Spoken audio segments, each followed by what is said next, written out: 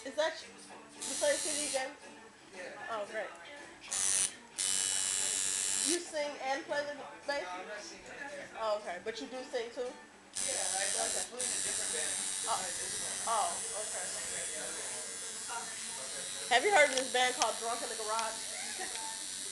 It's one of my customers. it's called Drunk in the Garage.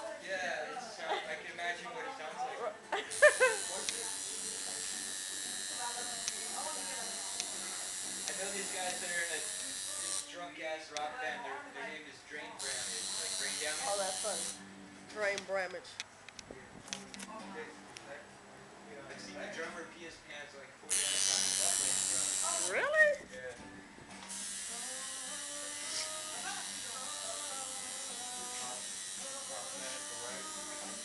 Yeah.